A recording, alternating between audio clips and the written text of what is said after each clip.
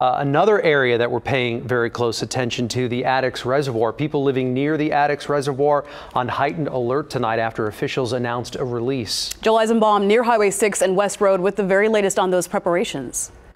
I want to tell you something real quickly about Highway 6. I think Highway 6, it's already in trouble because it's blocked south of Clay all the way to I-10. So you know you can't go that way because you've got Addicks Reservoir in the state that it's in and all the people that live in that area.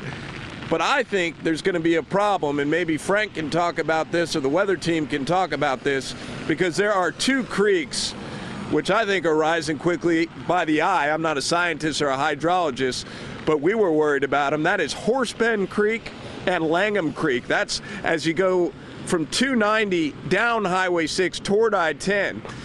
It seems to me that if Langham Creek goes over Highway 6, you are going to have tens of thousands of people stuck in that little area.